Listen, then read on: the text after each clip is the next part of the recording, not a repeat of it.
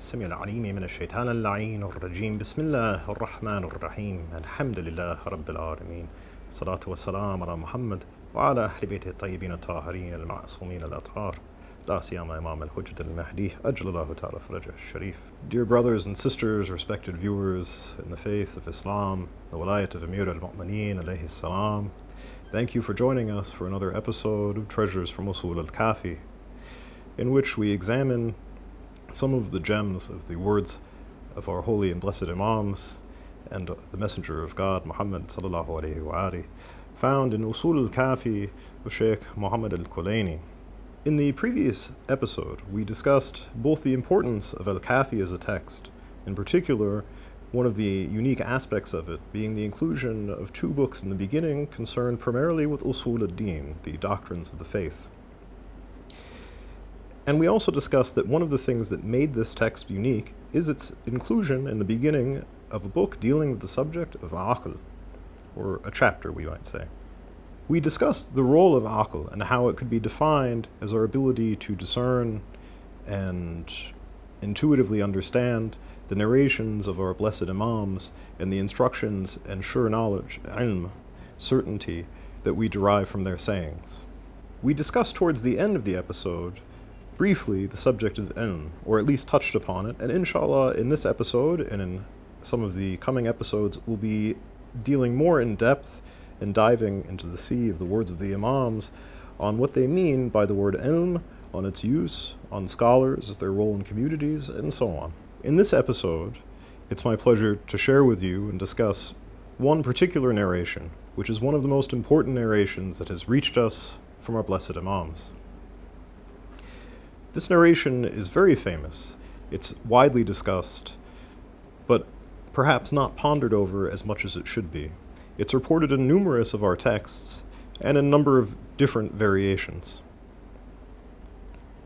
In this case, the narration reported from Al Sadiq alayhi salam and Usul al Kafi, he says that the Messenger of Allah sallallahu alayhi wa said, Seeking knowledge is obligatory upon every Muslim. Surely Allah loves the search for knowledge. This narration is extremely, extremely important, and one thing that I'll ask of our viewers is that we ponder over the way in which we apply this narration in our lives. Variations of this narration exist, as I mentioned, some explicitly stating that it's obligatory upon every Muslim, male and female, or the requirement to seek knowledge even if it is in China. However, we have to ask ourselves, what is the interpretation of this tradition, and what do we mean when we discuss ilm? With any subject, in particular, uh, any subject dealing with the hadith or narrations of the Holy Infallibles, we find that in the study of language and its use, that we can approach narrations from a variety of standpoints. In particular, even one word may have a restricted or unrestricted meaning or a specific or more general meaning. We can also look at this narration in the same light.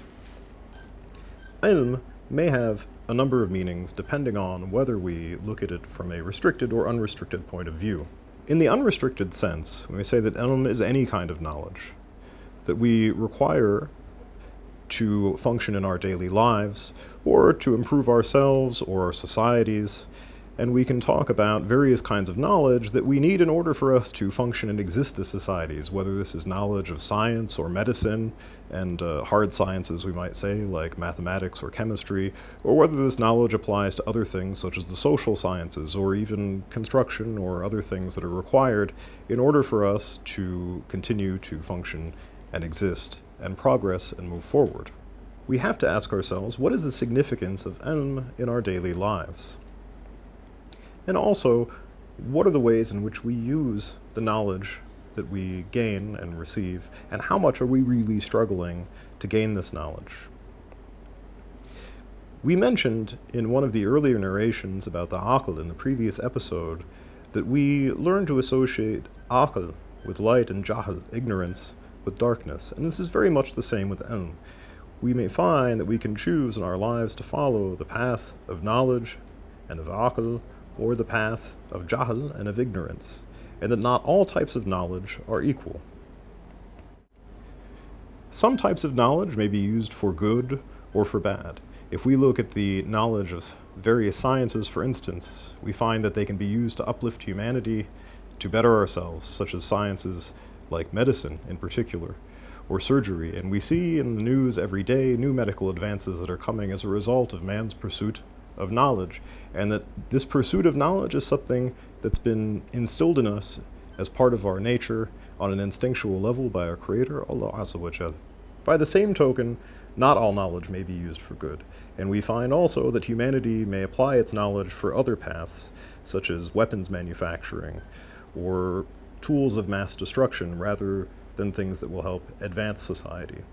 One of the ways that we judge societies of the past, in fact, is based on their pursuit of knowledge and the contributions that they've made in this area.